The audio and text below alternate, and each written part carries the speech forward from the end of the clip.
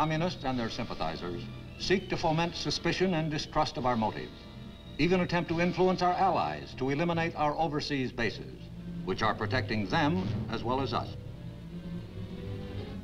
Their mediums of mass communication are tireless in vilifying us as a nation and as individuals, such as depicting you as a brute and a ravager. Is there a chance that the communists will succeed? Is there a possibility that our allies will accept this malicious perversion of us and everything we stand for? In large part, that is going to depend on how thoroughly we understand this conflict and how dedicated we are to victory. Understanding is a continuing process, and it embraces many different aspects of our day-to-day -day living. It is, at root, a function which involves the flow of information. I am Lowell Thomas. We live amid the greatest abundance of information any people has ever had. But survey after survey reveals an astonishingly low informational level among us. To be sure, the right to remain uninformed is one of the privileges of a democracy, but in a contest such as the one we are engaged in, it is one of the surest ways of losing our freedom. Being informed does not mean only keeping up to date on current events, important though that is. It means also being aware of developments within our own nation and the forces that move through it, its weaknesses as well as its strengths. We all too often dishonor our freedom and demean it. But that's not the full story. If it were, our system would have collapsed long before this. The full story is in the progress we consistently make through law and through education, the way free men must.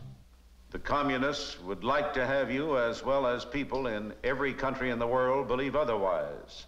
And once they have succeeded in letting the idea take root that our deficiencies are our chief characteristics, once they have managed to erode our faith in ourselves at least a little, that much of the battle is lost. A snake of a whisper is abroad that Americans have lost touch with their past. Is it true? It can't be if we are to survive and win. If we understand the conflict, then we understand the need to keep America strong in her greatest challenge by keeping alive the standards and the traditions which have been her glory. What are the bulwarks of our past upon which our society has been built? There are many, and we have discussed some of them. Our spiritual heritage, our belief in individual liberty. But there is yet another, as important as any of these. I am Helen Hayes.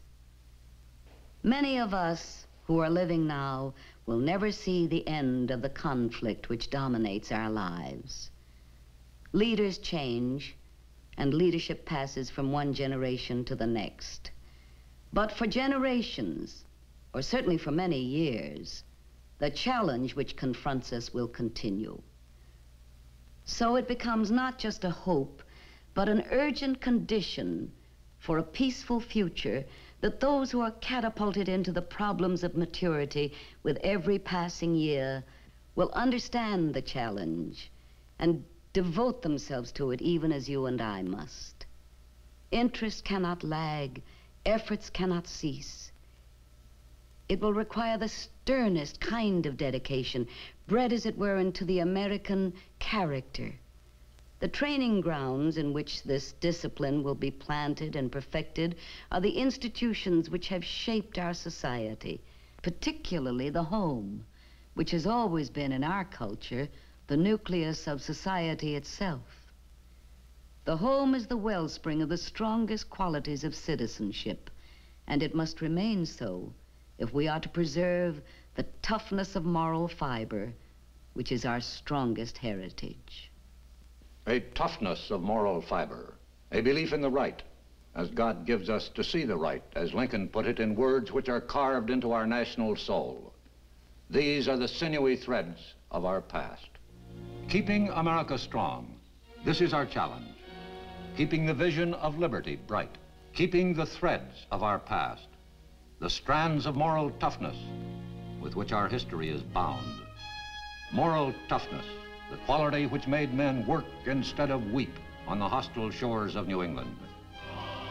which bled mortally yet never died on a hundred fields and oceans stretching out from Valley Forge, which moved strong men west, bringing with them first only their pride, then their railroads, which built cities and governments,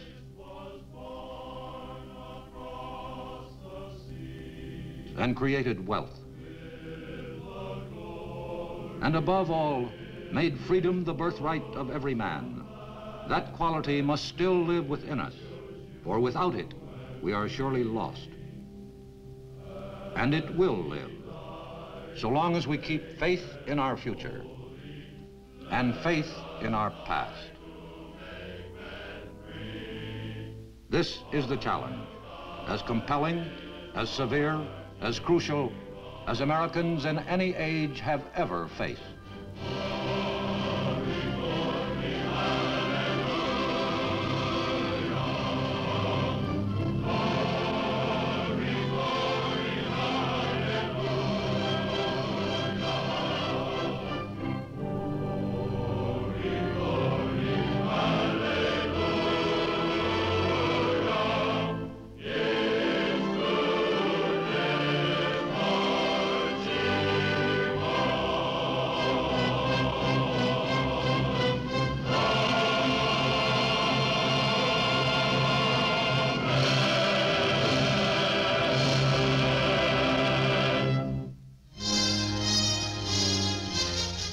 The Big Picture is an official report for the armed forces and the American people.